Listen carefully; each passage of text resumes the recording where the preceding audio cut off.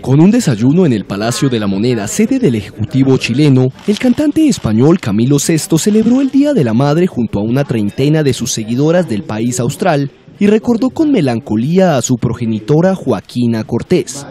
Eh, ¿Qué te voy a decir yo de doña Joaquina?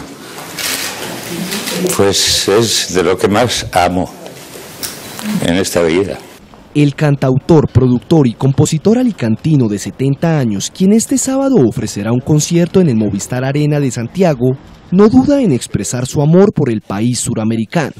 Y conmigo Chile empezó de nuevo, por lo menos de nuevo, y desde entonces hasta hoy, cuando me preguntan dónde estás, yo digo en casa, sí, porque realmente donde estoy más veces aquí en Chile que en mi propia casa. Sesto visitó Chile por primera vez en diciembre de 1973, dos meses después del golpe militar de Augusto Pinochet, un encuentro que asegura recordará toda la vida y que lo dejó impresionado. Nacido en Alicante en 1946, Sesto es uno de los cantantes españoles más importantes de las décadas de los 70 y 80, con una discografía compuesta por 25 álbumes y ha vendido más de 166 millones de copias en su carrera.